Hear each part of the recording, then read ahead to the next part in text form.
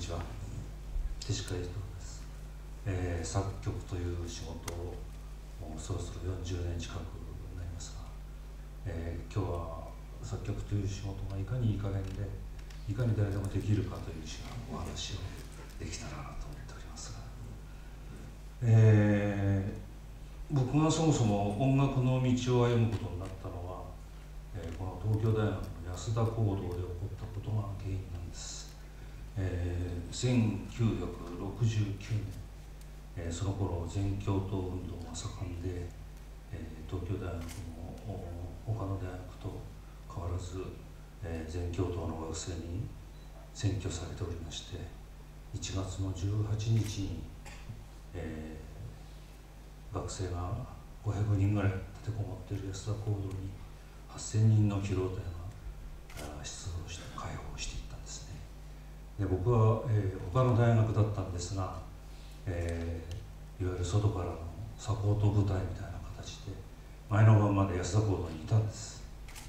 で、えー、夜ごとですねあの最終的にバリケードになってしまったこう片足が折れて傾いたグランドピアノがあったんですけどもえー、それを夜ごと弾く東大の全教頭の学生が一人おりましてそれはあの必ずベートーベンの月光のソナタなんですね、え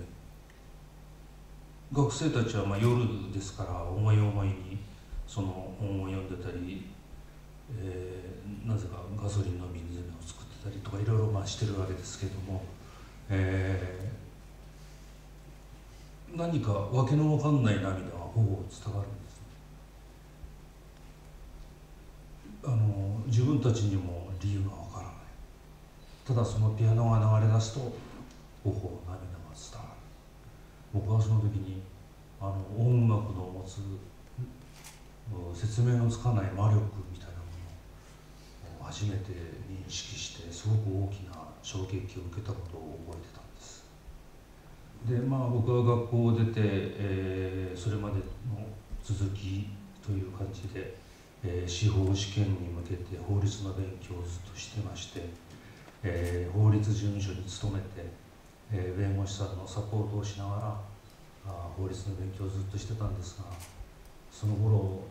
どうもその法律というもの自体に関する疑問とかがいろいろあったりとか自分の中に挫折感があったりとかまあ、いろいろ混沌とした、えー、精神状態ではいたんですがある日ですね、えー、CBS ソニーというレコード会社に勤めておりましたら、えー、地元の先輩が電話をくれまして「お前はいくら勉強したって司法試験なんか受かるわけないんだ」大体放送会なんていうところに向いてないんだからこっち来て俺たちの仕事を手伝えという誘いでくれたんですね。レコード会社。音楽を作る仕事。あの魔力を作る仕事。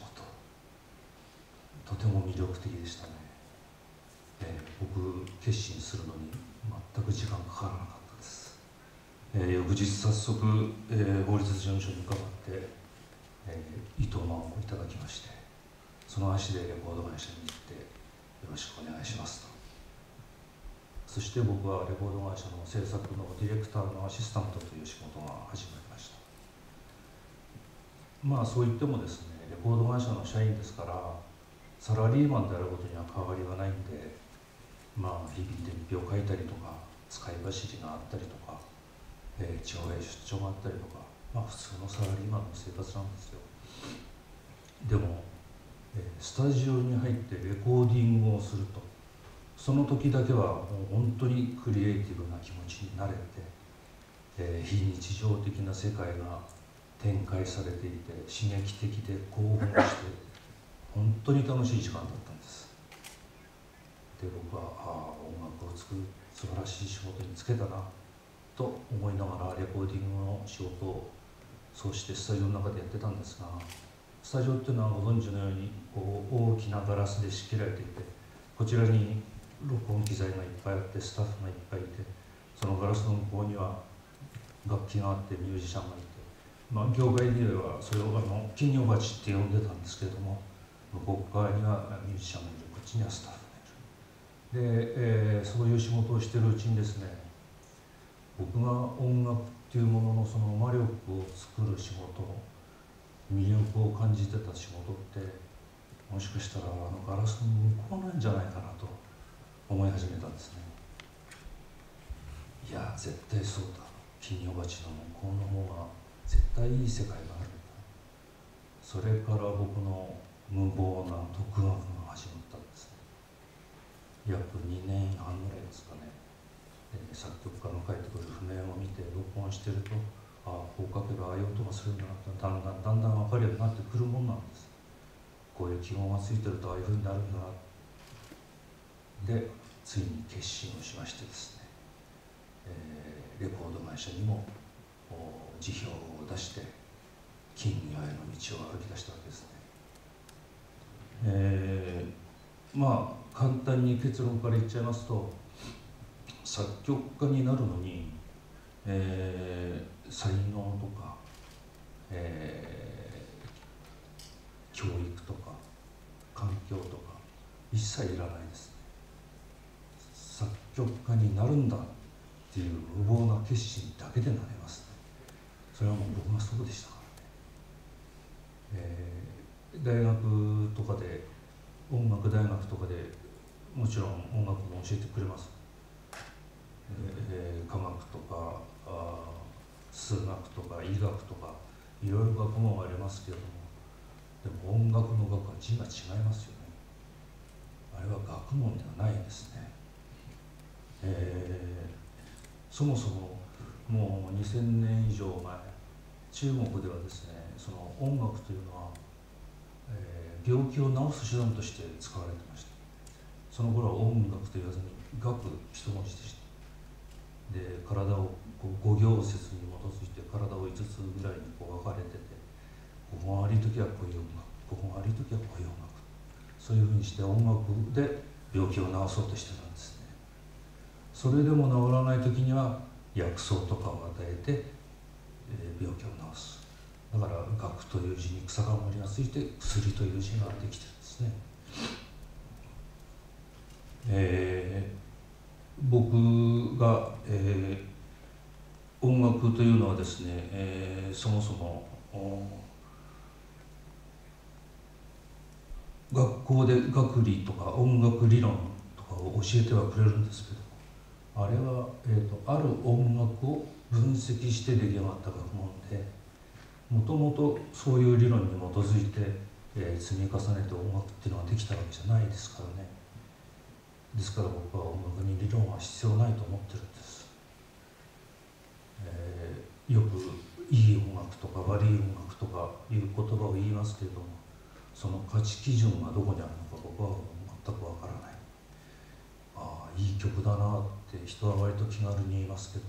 それはあなたが好きなだけなんでしょう。いい音楽悪い音楽じゃなくて好きな音楽好きじゃない音楽そういう区別しかないはずですね。まあそもそも僕はその体質的に向いていた気がするんですが、えー、アート文化全般ですね、えー、音楽を作る人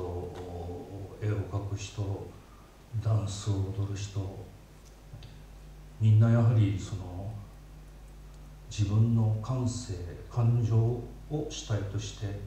えー、そういうものを作り出すわけでそこに理論とかそういうものは一切必要ない、えー、今の自分昨日の自分をと違うことをなるべくやりとやろうとする。他の人がやってることと同じことやってもそれはアートにはならないですからね。だから、えー、でちょっと無理をして今の自分を少しだけ向こう側に行けるように頑張る。人には変人と言われるかもしれないですけど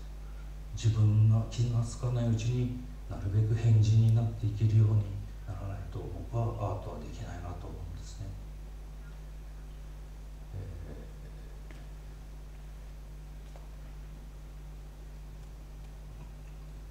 そうですね、えー、学問いろいろある中で、えー、さっきも申しましたように音楽というのは、え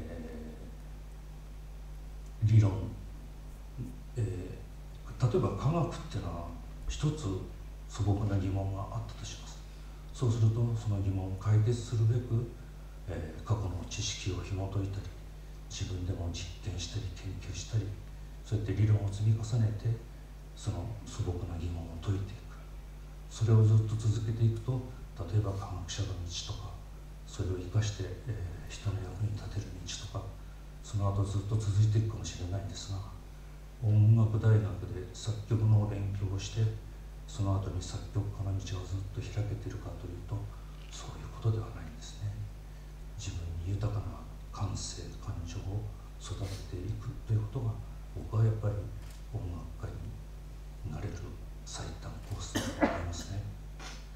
えー、そろそろ時間ですのなんで、えー、あのあの夜の安田講堂のピアニスト、えー、ベートーベン大先輩レコード会社に来ないかという電話をくれた地元の先輩、えー、今まで接してきてくれた全ての人々。